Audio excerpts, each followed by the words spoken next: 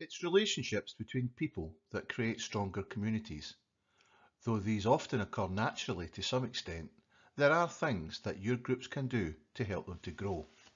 This presentation explains how to think about these relationships so your organisation is better equipped to strengthen them for the benefit of your community.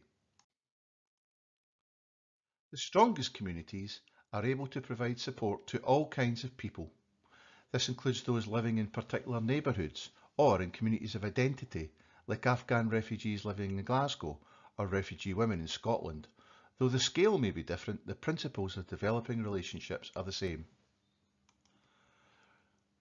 Groups working on this type of activity will often run services which help ensure people come together and are connected to each other and try to build links with in meaningful contact with those who make decisions about policy and services. Communities who achieve these connections are often known as having social capital. It sounds like a complex idea, but it's not that difficult and we'll explain it here. You can think about it in terms of people building social bonds with each other, social bridges with other groups in society, and social links with those who make decisions.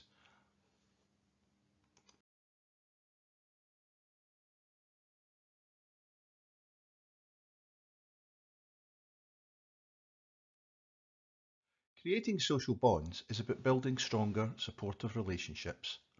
Amongst those who share experiences, for example, of the asylum system, or in a wider community, such as refugees from a particular country, by helping them to support each other in order to make life better for the community as a whole, and connecting them through shared social and recreational experiences and by trying to share the lived experience of communities with others who may be in a position to help.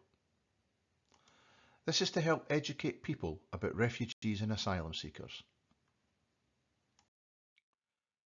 Successful communities also need connections between those who may not share common bonds.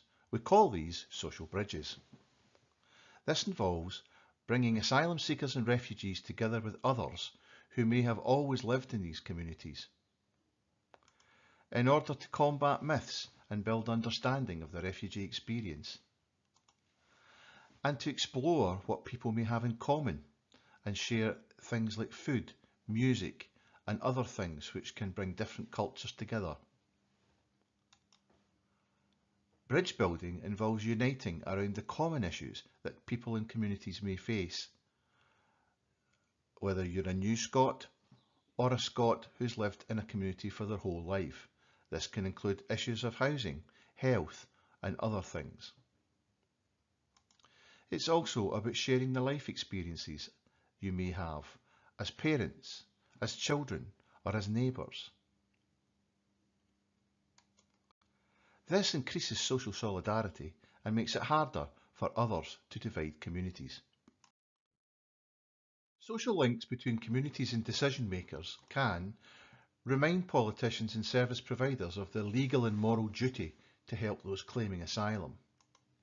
Help communicate your needs and how your community feels that they should be met. And to inform services whether they are working or not for your community.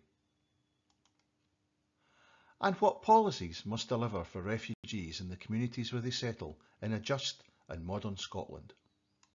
It matters to try and build all of these connections and communities because building links with each other and your allies makes your community stronger. Building bridges with others in communities widens support for refugees. Making links with those who plan services will improve those services your community needs most. Influencing the policies that affect public attitudes and the way services are delivered will affect how we all live our lives. Being able to explain how you do this can help you get funding for work that creates a better environment for refugees to settle in and rebuild their lives.